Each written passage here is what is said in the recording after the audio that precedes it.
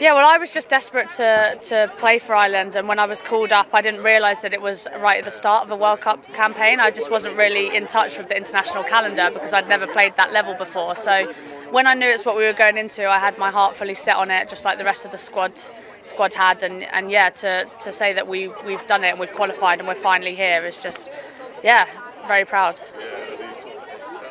Um, yeah, no, we are we are quite settled. Obviously, there's going to be a lot of travel within the tournament, but hotel staff and everyone have been brilliant. You know, we are out in the mornings for a, a coffee, and we've got to look around a little bit. And yeah, it's just it's so nice to be here. And obviously, we'd like to see a little bit more, but for the time being, we have to focus on the games and making sure we're ready. Um, yeah, like we have a few players that have been lucky enough to play in front of uh, big crowds. Obviously, there's been some big games in the WSL when we played in front of a big crowd against USA recently. Obviously, it's nothing on that magnitude, but it's not really something that you can prepare for. You, you're going to get goosebumps. It's going to be like a really special moment, and yeah, you just have to thrive in that, and I'm sure that's what we'll do.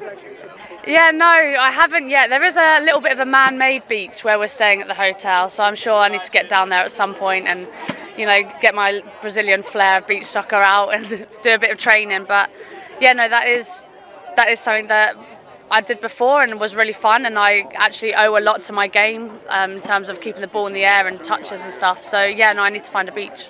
Yeah, so the rules are a bit different with beach soccer. The goalkeeper can only have the ball in their area for three seconds, and after that, they need to use their feet and come out. So goalkeepers can dribble, they can score. So I, I was crazy enough to throw myself around in net and was all right with my feet, so that's where I ended up. Yeah, no, I obviously we've played an in-house game um, not too long ago against Germany, and it's a team I've watched a lot, and I thought they were brilliant throughout the Euros. Um, I love the kind of football that they play, and some of the players they have have been around women's football and have been world class for, for years. So I think we'll possibly be seeing them in the final. Would maybe be my prediction. God, everybody. Obviously, this is the stage to be at. Um, I know a couple of the girls out here. Um, Alex Chidiac is a friend of mine who's obviously playing with Australia.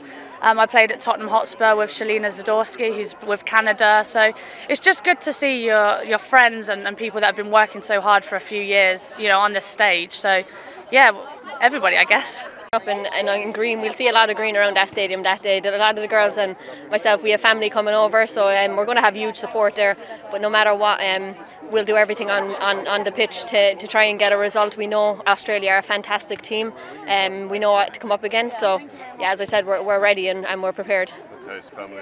Yeah, of course, a lot of family. My my boyfriend's coming over, not my family, but a lot of the girls' families are on the way over right now, and um, yeah, they're just so much support for us here. Um, everyone back in Ireland, the buzz is unbelievable. We can see it all over social media. So the whole of Ireland's behind us, and um, we want to pay them back and put in some good performances and just do the country proud.